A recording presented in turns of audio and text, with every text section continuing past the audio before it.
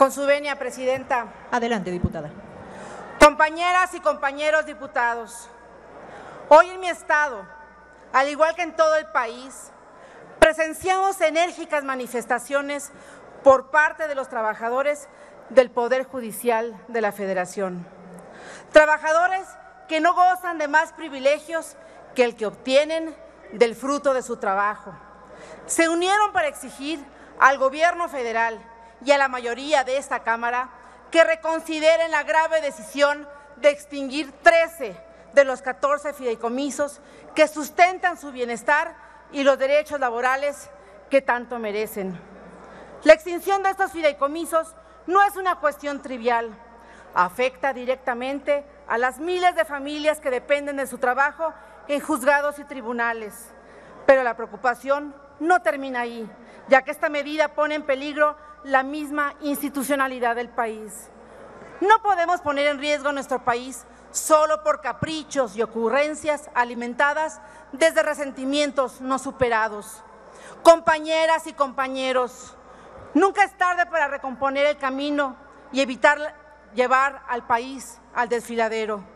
La extinción de los fideicomisos impacta directamente en los derechos laborales de los trabajadores del Poder Judicial de la Federación, especialmente en áreas cruciales como pensión, vivienda, salud y retiro. Estos derechos son reconocidos en la Constitución y en la Ley Federal de Trabajadores al Servicio del Estado. No se trata de prestaciones adicionales, sino de, de, derechos adquiridos que garantizan la seguridad y el bienestar de quienes han dedicado su vida al servicio de la justicia en nuestro país.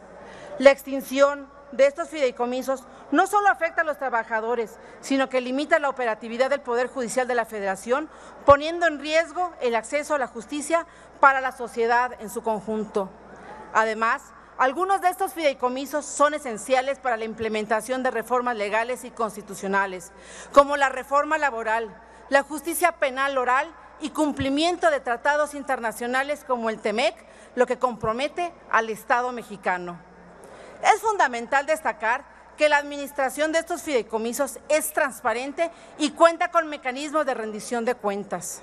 En cambio, la reforma impulsada por el oficialismo pretende tomar de un plumazo el control de 15.450 millones de pesos de los mexicanos destinados a la Suprema Corte, el Consejo de la Judicatura y el Tribunal Electoral, instituciones que conforman el Poder Judicial de la Federación.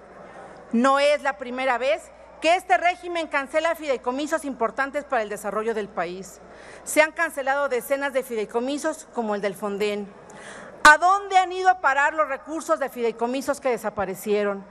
¿Qué justificación existe para su desaparición? Son preguntas que deben ser respondidas de manera transparente, objetiva y con total responsabilidad. Lo que hemos visto hasta ahora es una falta de claridad alarmante sobre el destino de estos recursos. Su actuar solo alimenta la desconfianza y la incertidumbre de las mexicanas y mexicanos en torno al uso de los recursos públicos, lo cual es inaceptable en una democracia que busca la justicia y el bienestar de todos los ciudadanos. Esta iniciativa trastoca y viola la autonomía de uno de los tres poderes de la Federación y la afirmación de que estos fideicomisos se utilizan para el pago de privilegios a unos cuantos es totalmente falsa.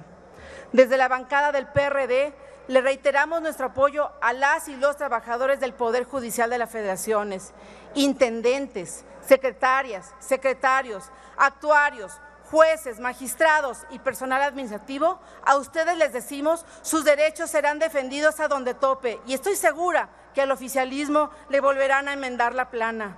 A las mexicanas y mexicanos no se les olvidará quienes están socavando la justicia, quienes están intentando desmantelar el andamiaje democrático, quienes desean apropiarse del recurso de los mexicanos y de las mexicanas y el destino de un país que creyó en un proyecto que sí miente, que sí roba y que sí traiciona. Afortunadamente, la esperanza ya cambió de manos y nos vemos este 2024. ¿Es cuánto?